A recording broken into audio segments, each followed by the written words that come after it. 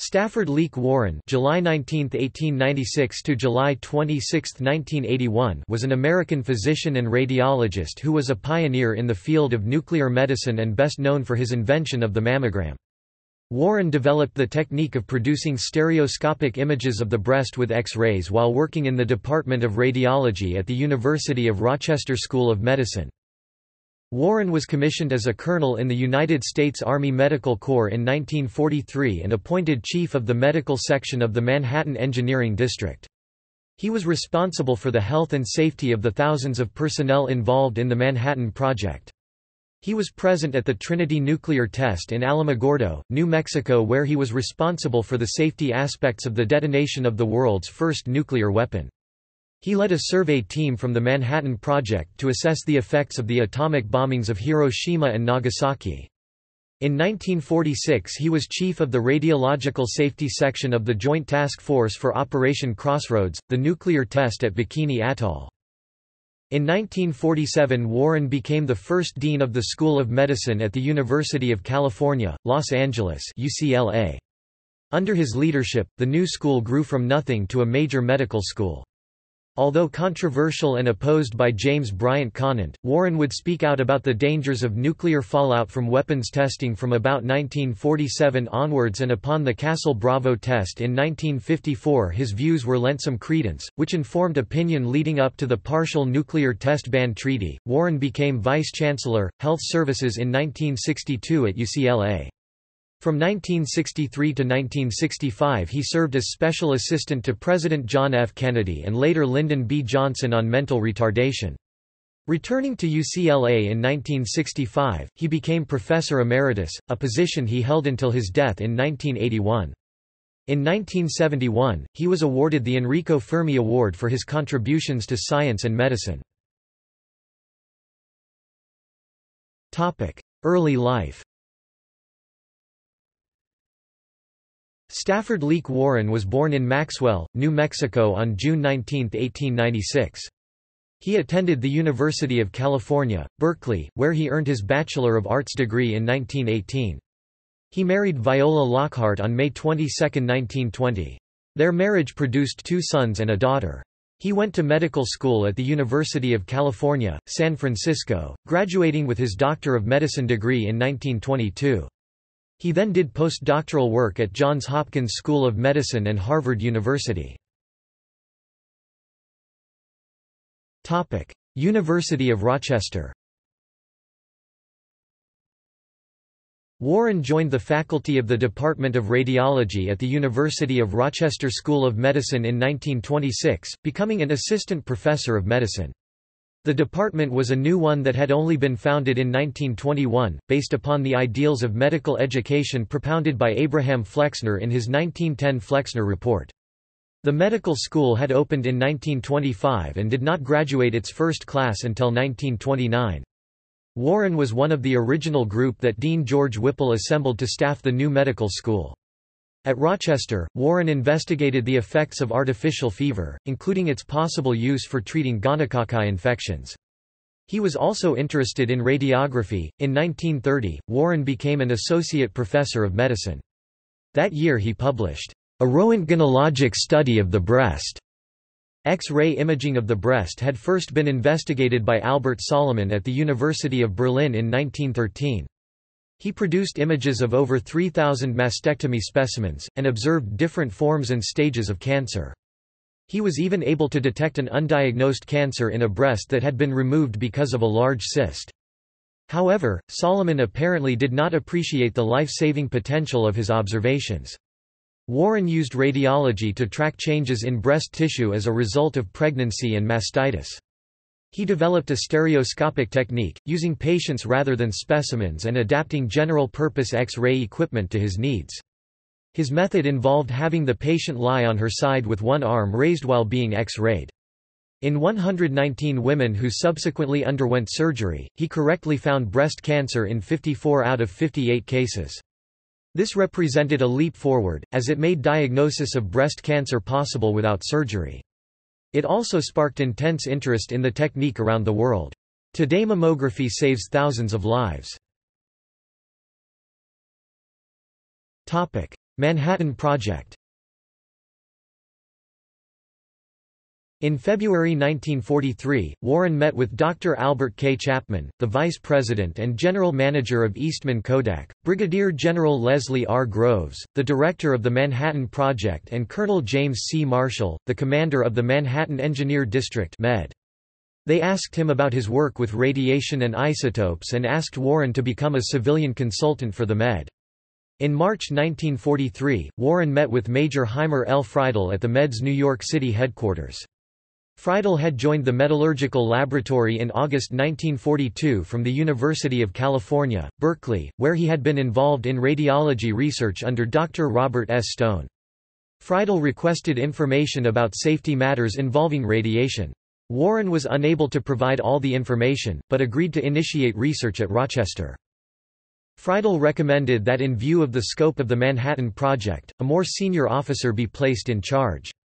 In October, Groves penned a letter to the Surgeon General of the United States Army, Major General Norman T. Kirk, requesting that he cooperate with the Manhattan Project in furnishing medical supplies, providing funds for medical care of military personnel, and directly commissioning Warren and other doctors at specified ranks.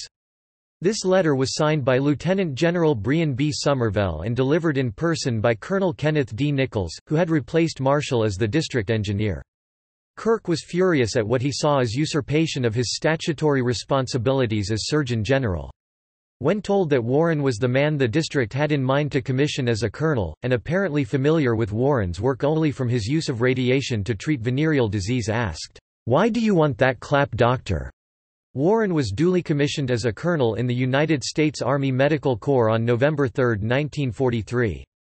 He was appointed as chief of the Meds Medical Section and medical advisor to the director of the Manhattan Project, with Friedell as his deputy.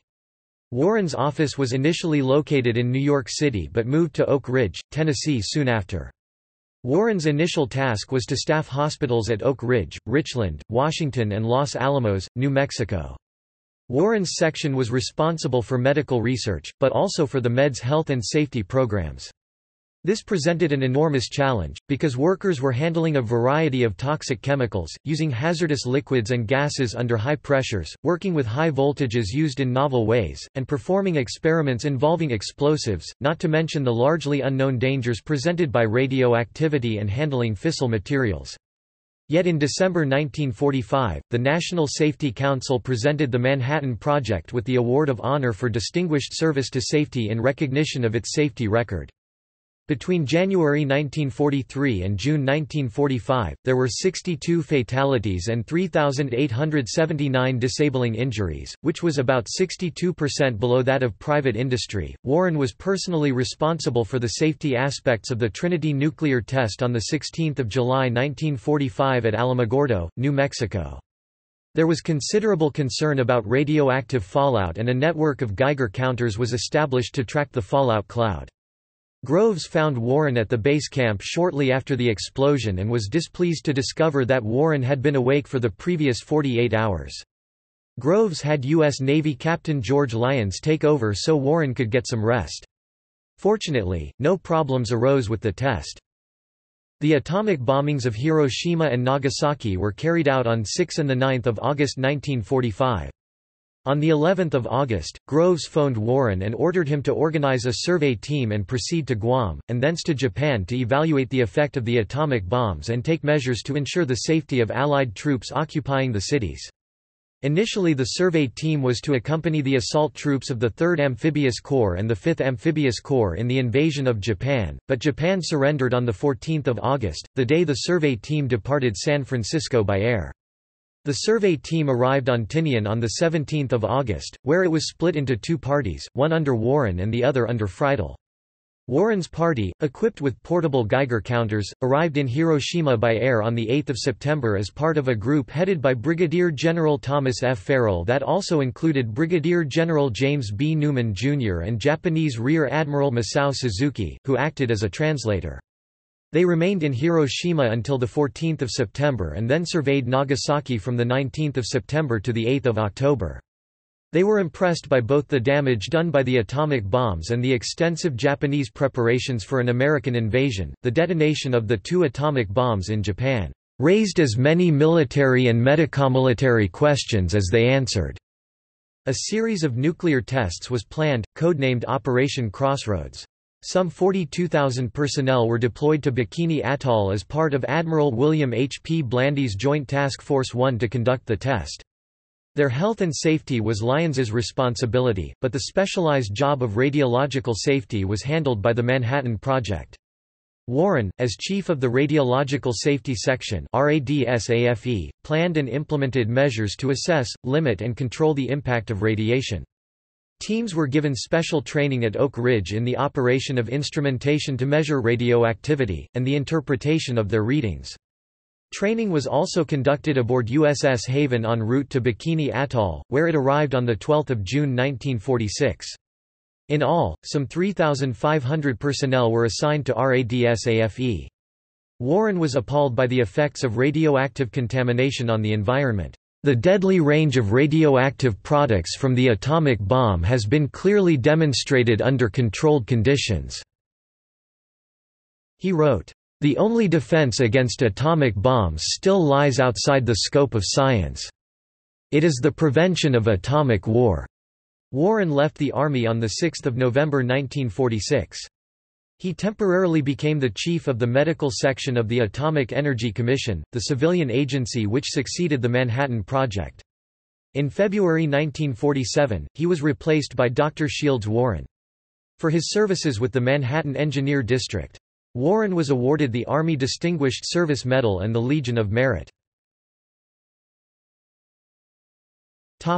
University of California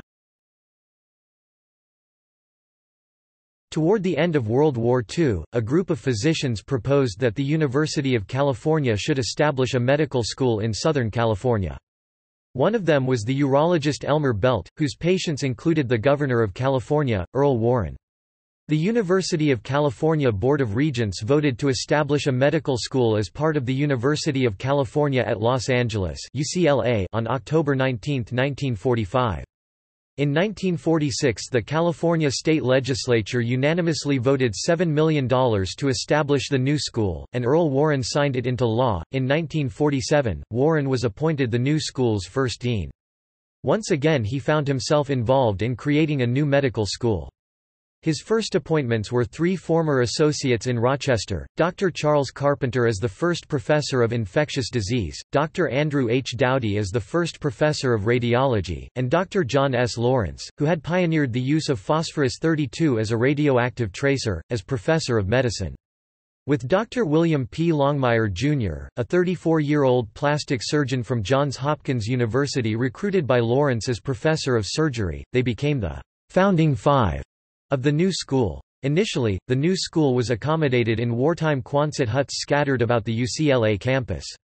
Warren was still wearing his army fatigues. Construction of permanent accommodation commenced in 1949. By 1951 when the first students, 26 men and two women, arrived there were 15 faculty members. By the time the first class graduated in 1955 there were 43 faculty members. The UCLA Medical Center opened in 1955. Under Warren's leadership, the school grew steadily, adding schools of dentistry, nursing, and public health. Against some influential opposition, Warren established his medical school on the UCLA campus rather than in another part of the city. He strove to integrate not only the structures but the faculty with other departments of the university. He fostered the development of a major biomedical library as both a tangible and intellectual link between the life sciences and the health sciences. Warren became Vice Chancellor, Health Services in 1962. From 1963 to 1965 he served as Special Assistant to President John F. Kennedy and later Lyndon B. Johnson on mental retardation. Returning to UCLA in 1965, he became Professor Emeritus, a position he held until his death in 1981.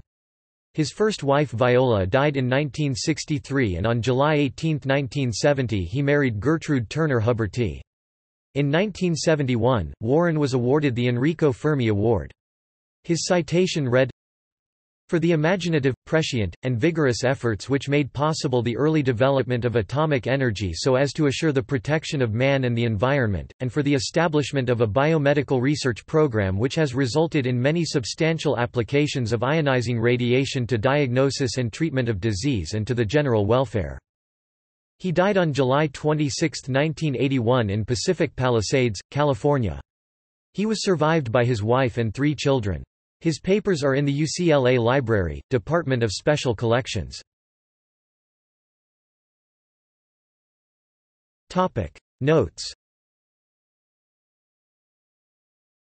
Topic Bibliography